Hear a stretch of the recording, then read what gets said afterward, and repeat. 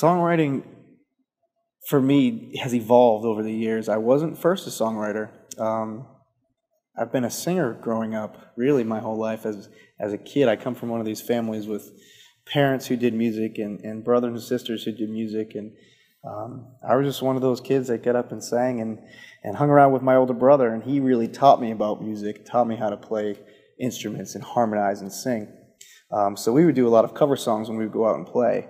But it wasn't until college, really, that I started listening to specifically country music, Garth Brooks, Alan Jackson, George Strait, um, that I fell in love with this style of music and really started listening to what the songs were saying.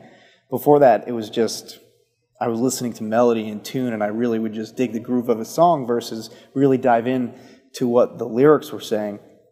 And I remember hearing those songs of, of Garth back in the in the mid '90s or so, and, and I felt like those songs were just talking to me, just like you guys probably thought the same thing. The, the, you relate to country music, you relate to those lyrics, and that's what really got me into country music, and really what got me thinking about writing my own songs and how I could express whatever was happening in my own life at the time.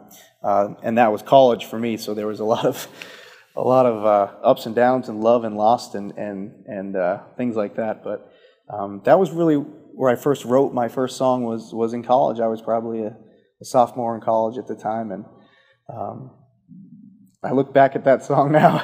I kind of laugh and grin and say, "What was I thinking?" But uh, don't ask me to play it; I will not do it.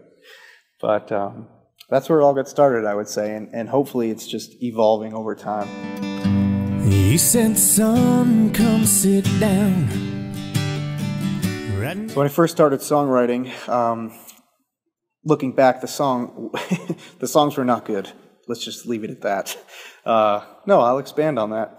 When I first started writing, it was all about trying to sound like what was on the radio. I wanted to sound like